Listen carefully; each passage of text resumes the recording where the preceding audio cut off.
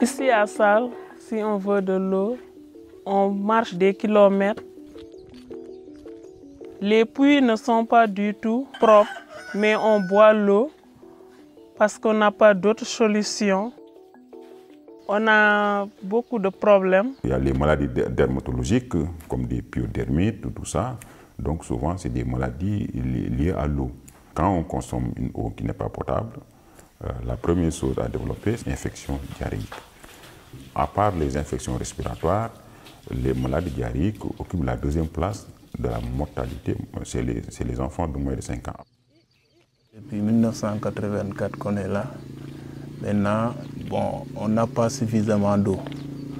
On sera obligé d'aller jusqu'au euh, fleuve pour même puiser de l'eau pour boire. L'eau du fleuve, il faut le rendre potable parce qu'il y a la bilharziose, beaucoup de maladies dedans. Donc tout là n'est pas bon à, à boire.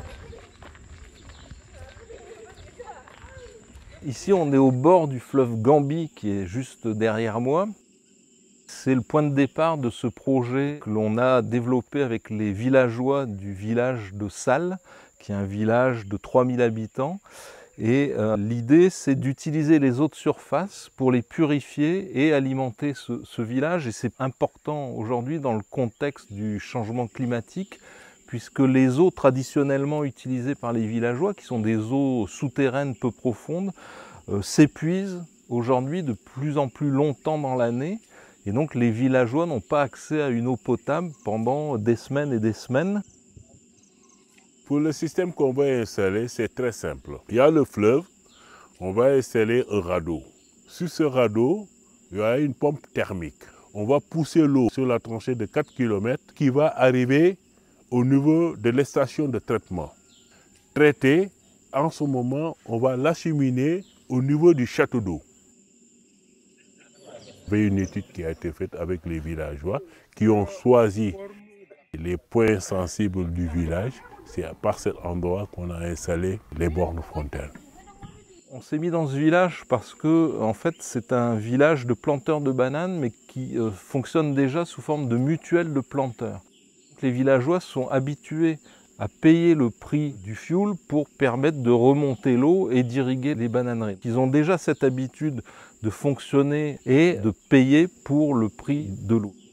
Dès que la phase d'installation du projet est finie, elles vont se réunir, hommes et femmes, et la mutuelle, et voir comment élire un bureau de gestion pour le projet. On va avoir des villageois capables de gérer ces installations et un système de comité de gestion qui va réguler et gérer l'eau pour le village. C'est un projet pilote ici à Salles. On travaille donc dans le cadre du partenariat avec l'OMVG, qui est l'Office de mise en valeur du fleuve Gambie. Et l'OMVG en fait rassemble quatre pays, le Sénégal, la Guinée-Bissau, la Guinée et la Gambie. Et donc si ce premier projet pilote d'alimentation en eau des villages riverains à partir d'eau de surface fonctionne, on pourra le dupliquer. Plus d'une quarantaine de villages vont être alimentés en eau potable grâce à l'appui technique et financier de la Fondation Veolia. Ce protocole s'inscrit parfaitement dans la vision de l'OMVG pour répondre aux besoins en eau des populations, à l'amélioration des cadres de vie des populations et surtout à l'adaptation au changement climatique qui fait aujourd'hui la préoccupation de la communauté internationale. Je suis une femme qui a une petite fille âgée de 2 ans.